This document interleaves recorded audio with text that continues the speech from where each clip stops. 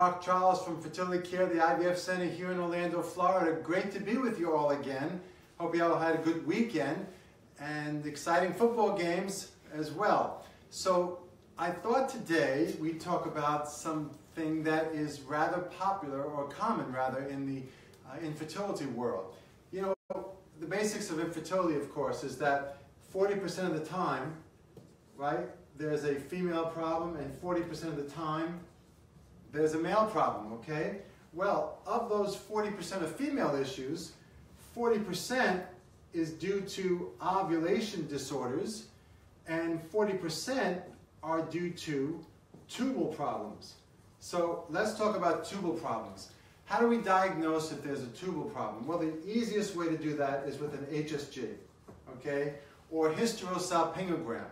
We have this machine in our facility, it's called a C-arm, and I'm gonna, I think what we should do is just have a video of that one day. So we'll get that, we'll get that for you all. Okay, so it's a C-arm, and you on the table, and this big device comes over you, and I inject contrast through the cervix up into the uterus to see if the tubes are open. So we'll see it right as you're doing the procedure. You can see the dye going up through the uterus and down the tubes. And that will let us know if the uterine cavity is normal and the tubes are open.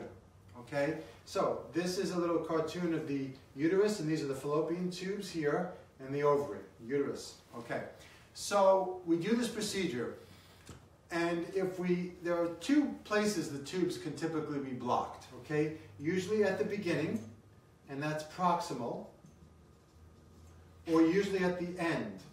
And if it's at the end, and at the distal portion, okay, that's called a hydrosalpinx. A hydrosalpinx is really bad news for the tubes for two reasons. One of them is that obviously the tube is blocked so it can't pick up the egg.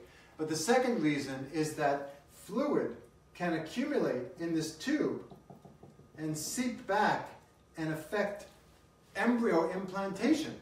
We'll do ultrasounds right before ovulation and you sometimes will see a fluid pocket in the upper part of the uterus. That is from the hydrosalpinx.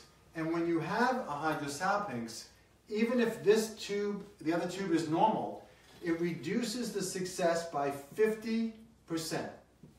All right? So what do we do about that? Well, I know it sounds uh, aggressive, but really the best thing to do is to remove that tube. If you open that fallopian tube and try to spare it, success rates could be anywhere from 15 to 40%, but probably on the lower side okay? Particularly if there's scarring and the degree of dilation of the tube. And if you open the tube, it could increase the risk of a tubal pregnancy or ectopic pregnancy, which is life-threatening. So if we take this tube out, studies have shown that this gets a lot better. The pregnancy rate actually gets a lot better of the other side. And of course, if both are affected, then IVF is going to be your best option if they're both damaged. What if the tube is blocked in just the beginning? Well, what we could do in, in, right now in the procedure room is to put a guide wire down this tube and to try to bypass the blockage and open the fallopian tubes. Success rates are probably somewhere in the 40 to 60% range. And if not successful, over time it could possibly reocclude, block up again, okay? So this is called tubal cannulation. Another thing to mention is that if you've had your tubes tied and are interested in opening your tubes again, if you have them opened again and the tubes are still blocked, then we wouldn't recommend opening them again. We'd recommend doing in vitro fertilization. Okay?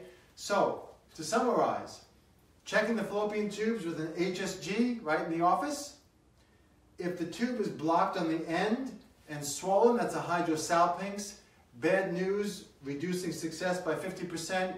Easiest just to remove it by surgery, one day surgery through laparoscopy. If it's blocked in the beginning portion, you can do a minor procedure to try to open the fallopian tubes with a guide wire called tubal cannulation. If both tubes are bad, obviously in vitro fertilization.